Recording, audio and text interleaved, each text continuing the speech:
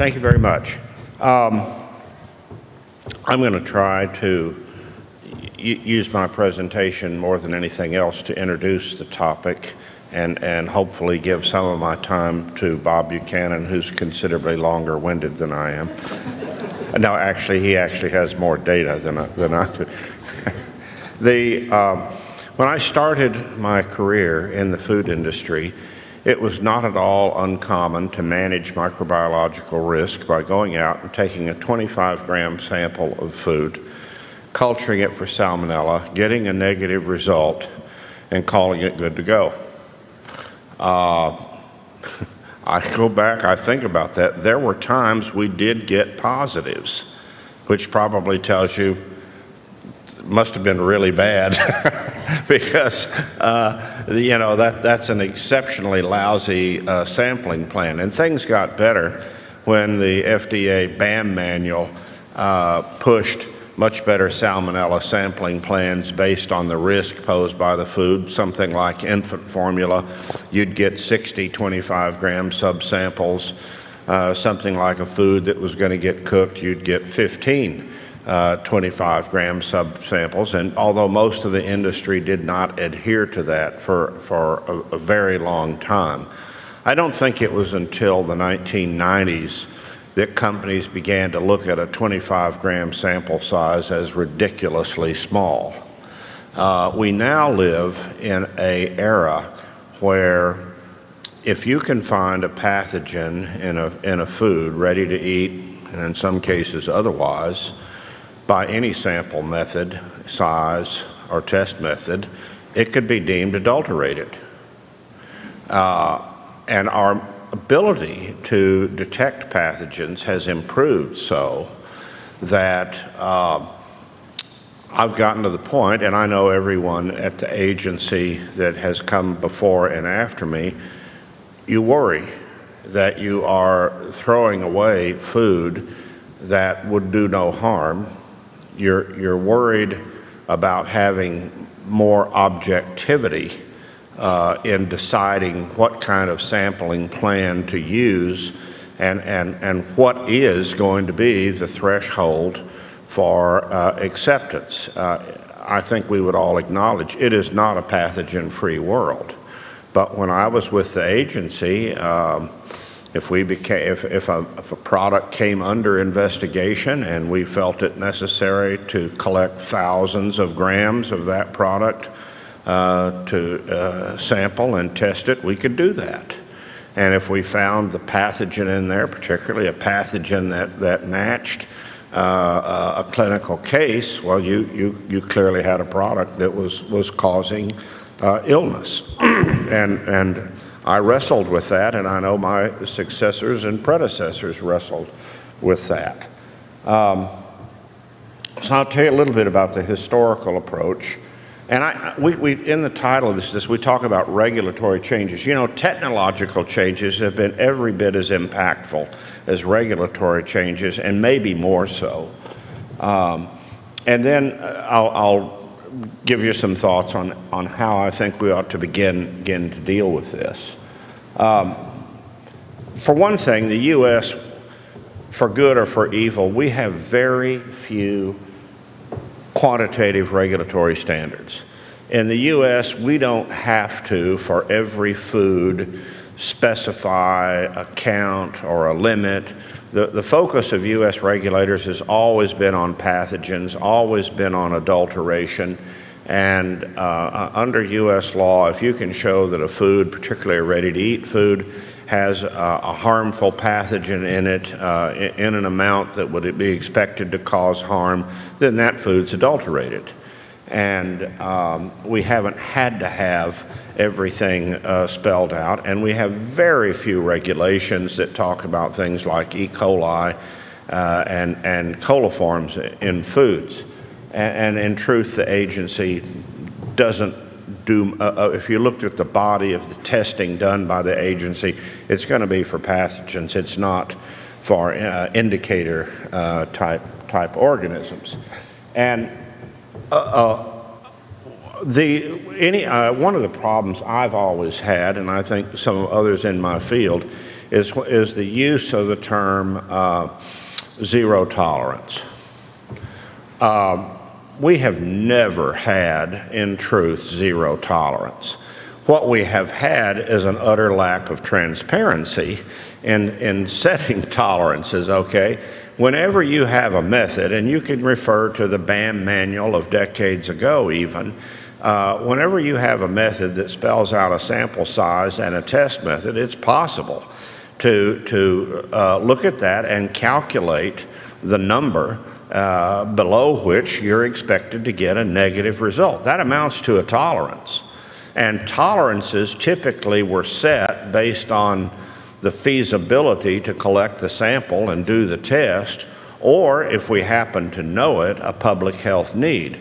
If you look at the standards for powdered infant formula, which have been in existence for decades, uh, requiring that a manufacturer test 60 25 gram subsamples.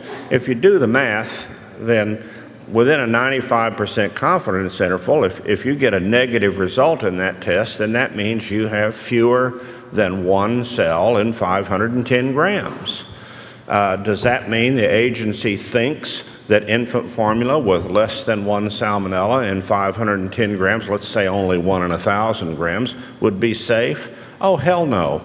Uh, we, we have nine, 9 billion servings of infant formula in the U.S. a year. If that was all you did, we'd, we'd have one heck of a lot of infant salmonellosis. So clearly, that is not a standard that was based on a public health need. That was a standard based on what reasonably could be expected uh, of the industry uh, for, for each lot of product. But, but it wasn't zero tolerance.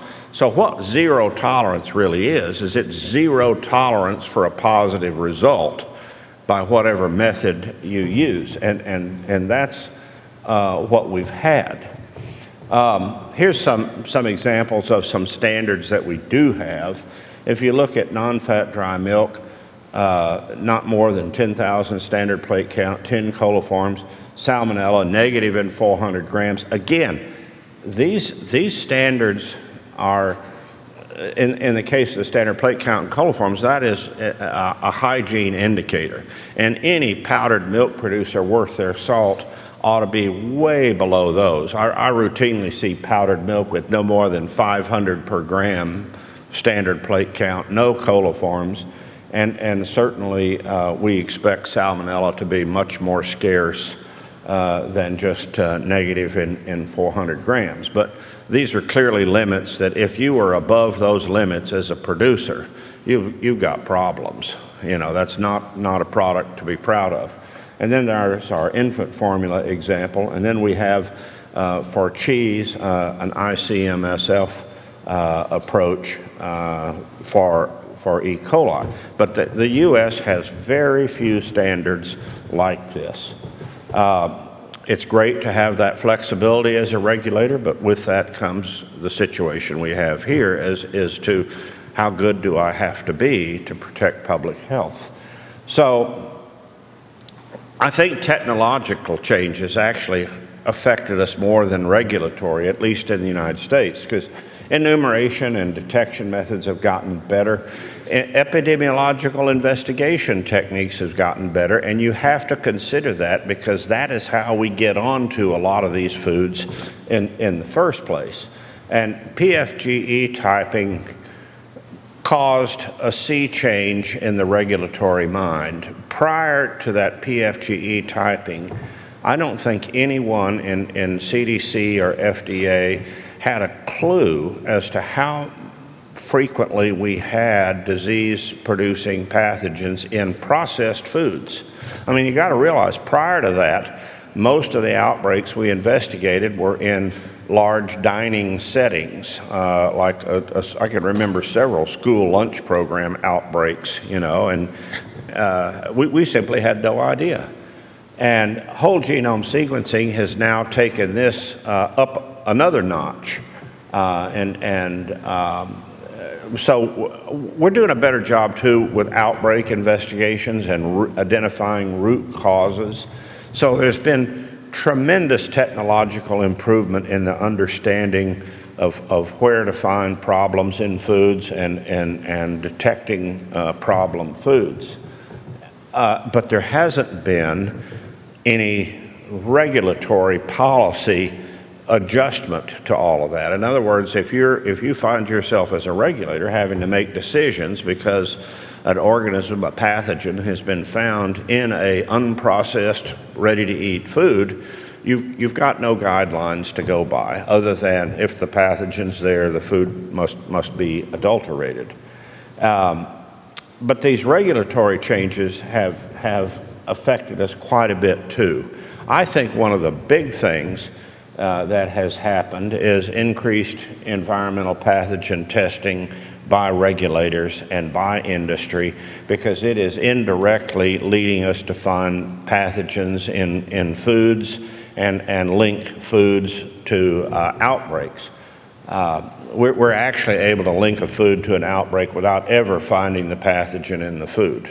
And, and probably if we tested the heck out of that food, might not find that pathogen in the food, but clearly at some point the food was contaminated and caused illness. Uh, I want to show you some data based on really large uh, numbers of samples. Uh, this is some data collected by our firm. This data, I'm going to show you two charts. One is, is produce tested as it was in the field or, or immediately from the field, okay? And then produce tested after it had gone through some processing and was packaged as ready, ready to eat. Um, in each of these cases, we have more than a thousand samples for the commodity, and some of them, like lettuce, there you see 141,000 samples. My point is, this is a really good sample size, and the, the, there's multiple companies uh, in this. And, and these are all what I would call probably top tier companies in terms of good agricultural practices, good processing practices.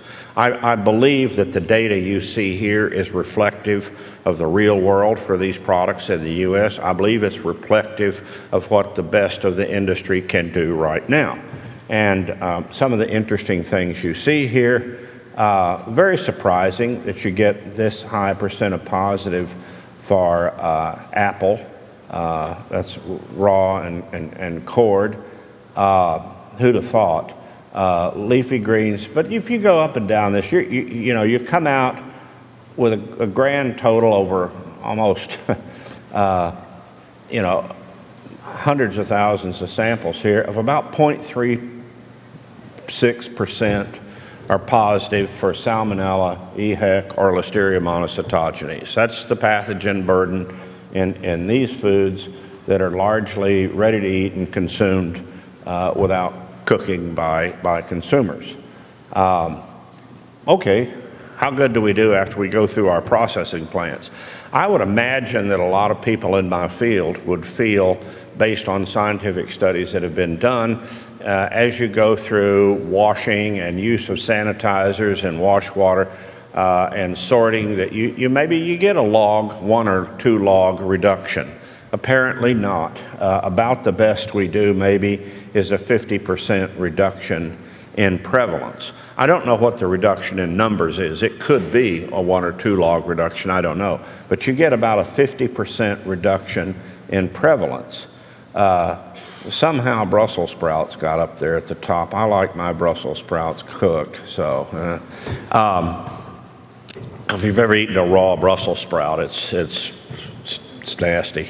Uh, so, it, it, you know, I think this data very clearly shows it is not a pathogen-free world.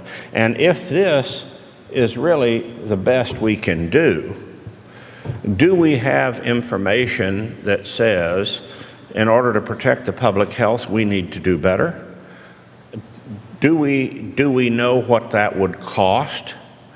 Is it reasonable to spend our public health dollars towards that cost? Or is it more reasonable to try to manage this risk with at-risk populations through, through education and, and, and uh, closer, closer monitoring? I, and, and should we not, if this is what is at this point, I hate to use the word unavoidable, if this is what's typically, the industry is typically capable of, should we not adjust our sampling plans and test methodologies so that if you are performing at this level, you would be unlikely to get a positive result?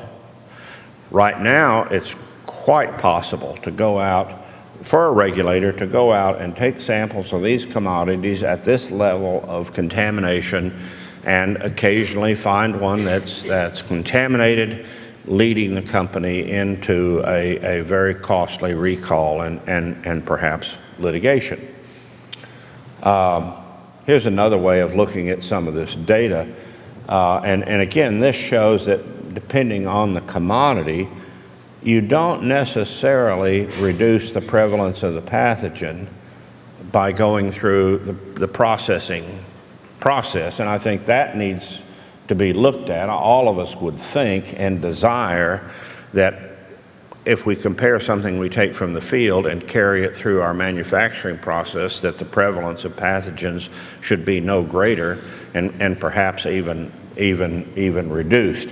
So I really can't uh, explain some of these things, except to say that on the industry side of things, there's a lot of room for work and improvement on, on managing it so that our processes do not make the problem worse.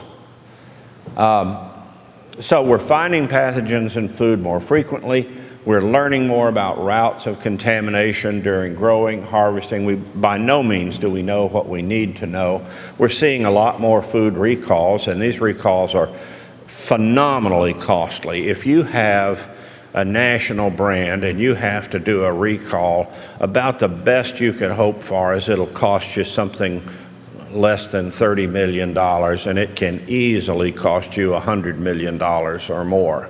And, and that's enough to break the back of, of a lot of companies. Um, I, I, I think we have, the thing we've got to do is start talking about adapting a regulatory risk management uh, strategy and that uh, and that uh, and that uh, and that uh, and that uh, and that uh, and that uh, and that uh, and that uh, and that uh, and that uh, and that uh, and that uh, and that are typically not uh, given a kill step uh, prior to consumption. These produce items, those are going to, if you can do it at all with food, you ought to be able to do it with those foods because you're not talking about a kill step in the hands of the consumer and you don't have that additional uncertainty to deal with in, in quantitative risk assessment. So uh, I, I really think we should focus on those foods and, and and if anybody in this room has a notion that all food should be pathogen free, you know, you should disaffect yourself of that. I, I think that that concept is, is doomed, uh, and it's easily proven if you just sample and test enough. Um, and I, you're going to have to use a quantitative risk assessment approach here. It's, it's going to be quite complex, but I think it's doable for this category of foods. And um, I think doing that, if we're able to set such a, uh, I would call it more like a performance standard. If you're able to set a, a performance standard or action limit for these foods, uh, I, I would never codify it in a regulation you're going to be able to change that as we're able to uh, innovate and get improvements in process to reduce the prevalence of pathogens. And having such a limit itself will actually uh, cause the industry to focus on, on improvements that will allow them to consistently and easily meet such a limit.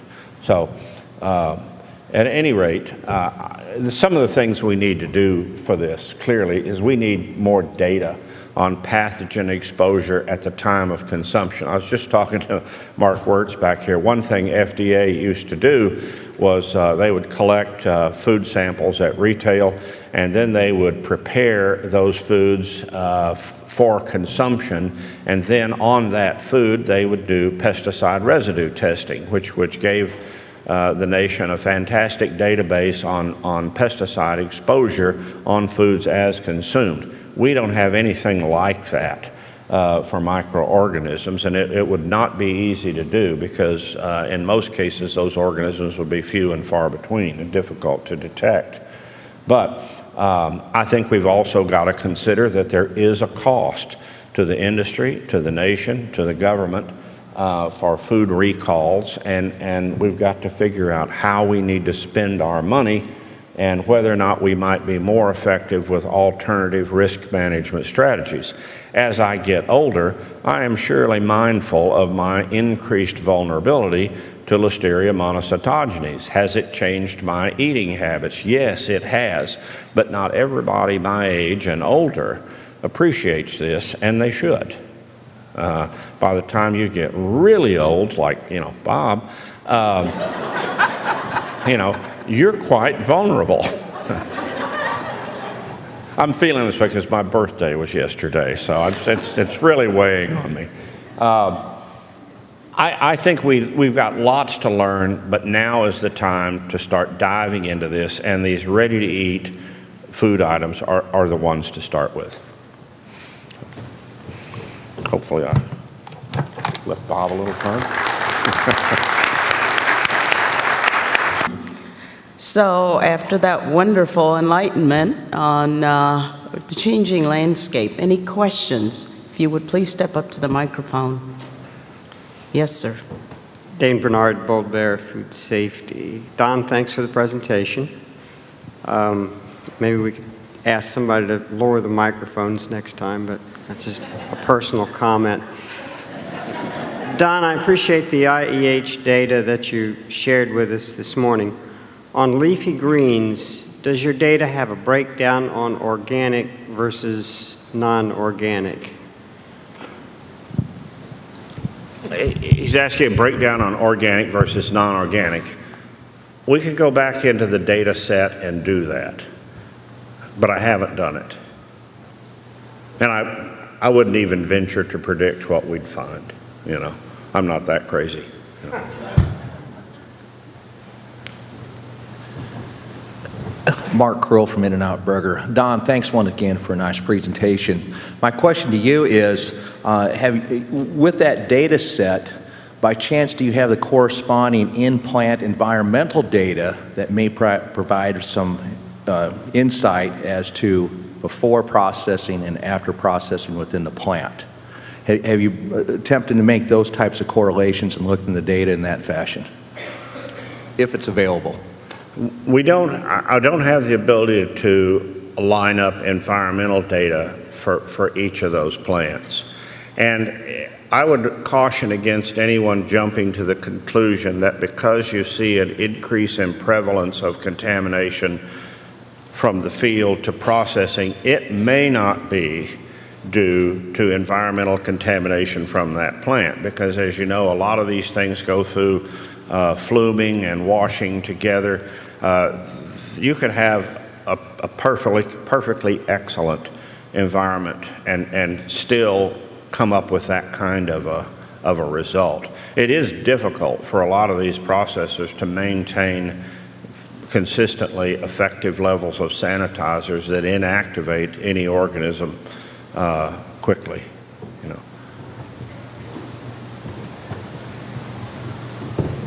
Other questions? Somebody stepping up.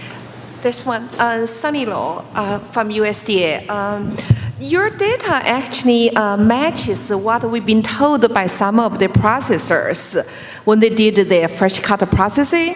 So they, I've been told that they were wondering why they have increased the bacterial population after wash, before wash. So I really want to thank you for that uh, slide shared with us. You know, I don't know. I could only theorize. Uh, it, I think that's probably occurring when, uh, you know, bacteria at, uh, on, on some items get transferred to items that didn't have it before. But I have to also say it may simply be due to some recovery of the organism or making them easier to isolate after going through that process. I, I, I simply don't know. And the one thing I've learned in a life of science is uh, what seems to be perfectly logical could be utterly wrong, you know.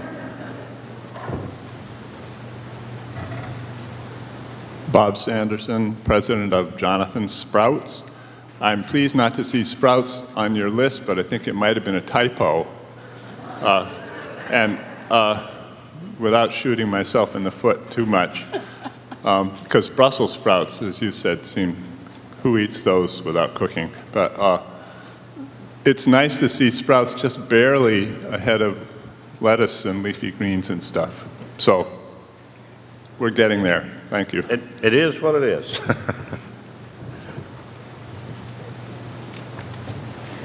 Well, thank you, Don. How about a nice round of applause?